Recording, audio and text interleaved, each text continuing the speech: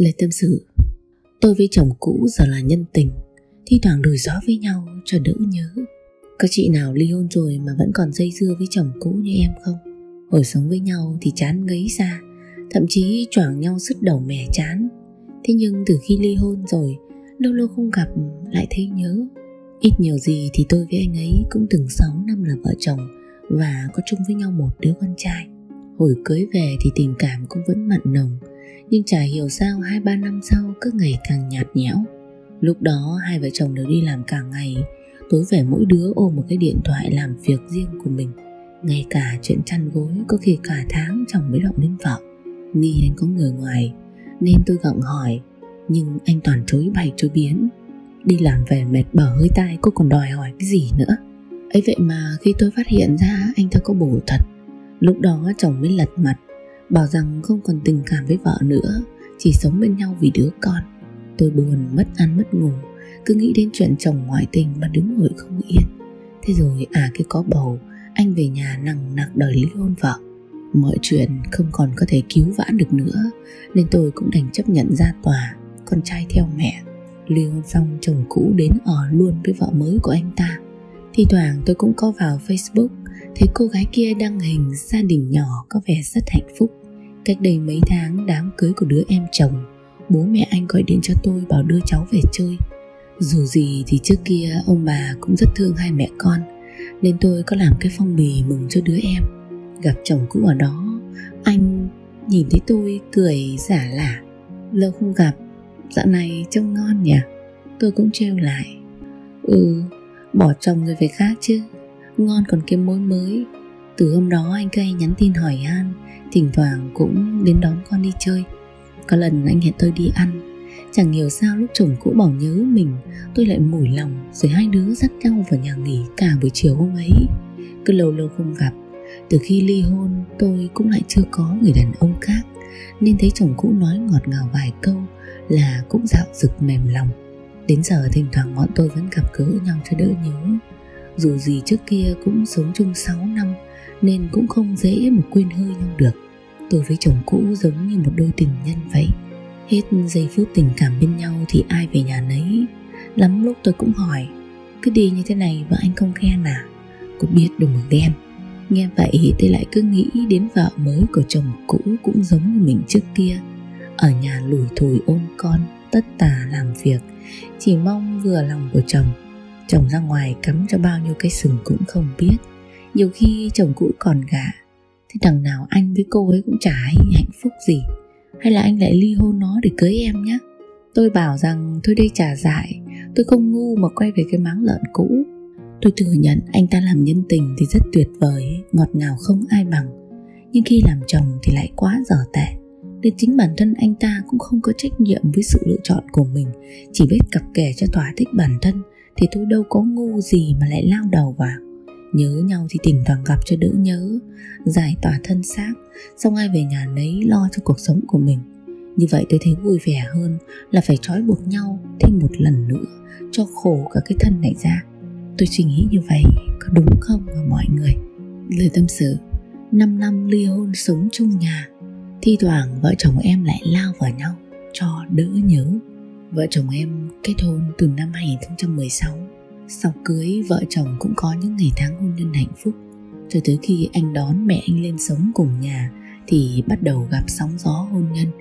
Chồng em là một người hiền lành, Yêu thương vợ con, Nhưng lại sống không có lập trường.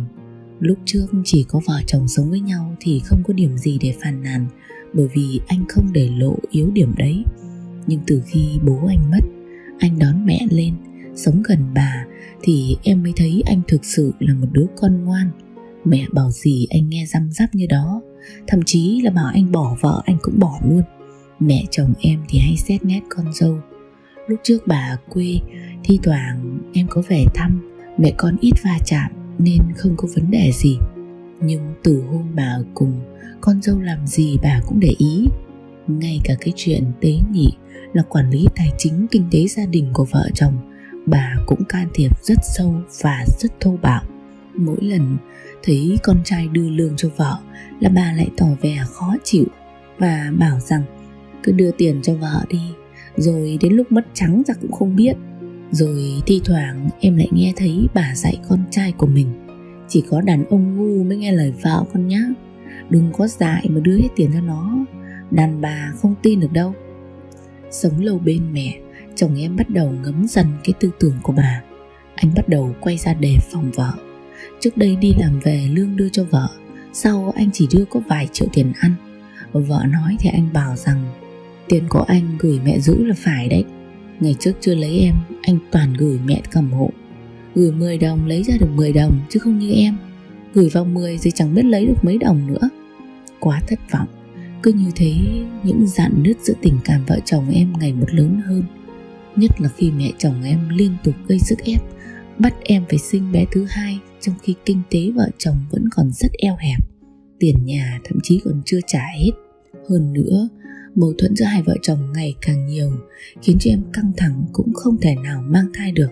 Mẹ chồng em muốn có cháu trai, nên cứ thúc chồng em phải đẻ mãi. Em không đồng ý, anh ấy liền ra ngoài bù bịch để dằn mặt vợ, rằng không có em thì anh ấy cũng sẽ có người khác đẻ thai ngay. Ức quá nên em ly hôn vì cả hai đều chưa có điều kiện, nên vẫn đành ngậm ngùi sống cùng một nhà để cùng lo trả nợ ngân hàng cho xong. Mẹ chồng em thì về quê sau khi chúng em đã ra tòa.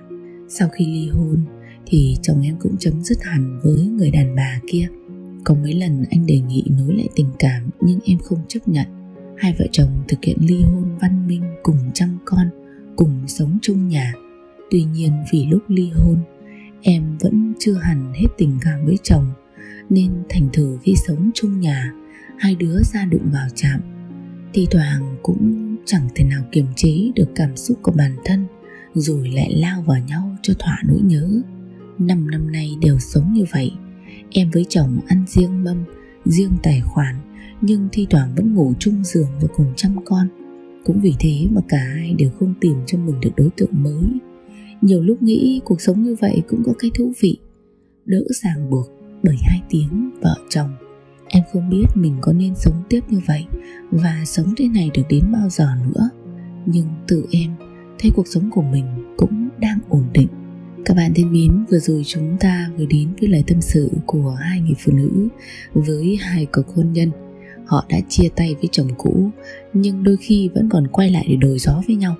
Thậm chí người phụ nữ trong câu chuyện thứ hai, do điều kiện hoàn cảnh sống, sau khi ly hôn vẫn phải sống chung nhà với chồng, cũng chẳng khác gì cuộc sống trước đây. Chỉ có điều, trên giấy tờ về mặt pháp lý đã không còn ràng buộc nhau bởi hai tiếng vợ chồng nữa. Thời trước ly hôn xong, vợ chồng ngăn đôi nhà, cả hai dù đã có hướng đi riêng, nhưng rất có thể trong một không gian nhỏ hẹp lại yếu đuối ngã vào nhau. Thời nay thì ít gặp hơn thường ly hôn xong họ cũng tách ra luôn. Nhưng vẫn có những cặp đôi thi thoảng lại quay lại để mà hâm nóng lại tình cảm với nhau. Bởi một phần là bởi vì bản năng sinh lý của họ quá mạnh. Quay lại với những cái đã cũ khiến cho mình chán mà bỏ đi rồi là một điều tôi nghĩ rằng chúng ta không nên làm và có thể còn làm lỡ mất cơ hội đến với người mới của mình. Tốt hơn thì hãy đầu tư chăm sóc cho trang mới của cuộc đời của mình bởi vì thực tế rất nhiều cặp vợ chồng ly thân, ly dị quay lại với nhau. Lịch sử lặp lại, kịch bản cũ lại tái diễn, rồi họ lại chọn biện pháp chia tay. Thực ra thì cũng có rất nhiều người đàn ông sau khi lấy vợ mới thì thấy không bằng người vợ cũ của mình, nên lại quay lại chinh phục bà vợ cũ. Thực ra thì nếu như cả hai cùng độc thân thì việc các bạn quay lại yêu đương với nhau hay là có quan hệ với nhau cũng chẳng có gì đáng trách cả tuy nhiên trường hợp một bên đã lấy vợ hay lấy chồng rồi, thì việc quan hệ lại với nhau không nên một chút nào, bởi như thế sẽ làm khổ người mới. Lúc này người cũ lại trở thành kẻ thứ ba. Tốt nhất sau khi ly hôn thì các cặp đôi cũng đừng vội lập gia đình.